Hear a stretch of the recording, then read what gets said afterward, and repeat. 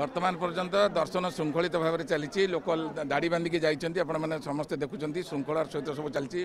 police তাকে দেখুছি committee লোক শৃঙ্খলার সহ যাবে বিএমসি পক্ষ